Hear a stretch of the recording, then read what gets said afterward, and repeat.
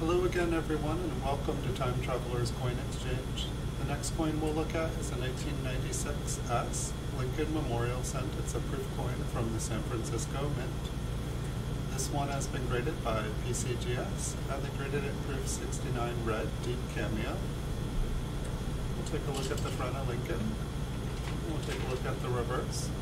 I definitely noticed this slab has quite a few scratches and scuff marks on it. Could have been taken a little bit better care of. I don't know how this happens. Um, definitely never happens to me. I don't think I've ever scratched one. Maybe some, maybe it was someone's lucky penny and they carried it around in their pocket with their keys and did a lot of jogging.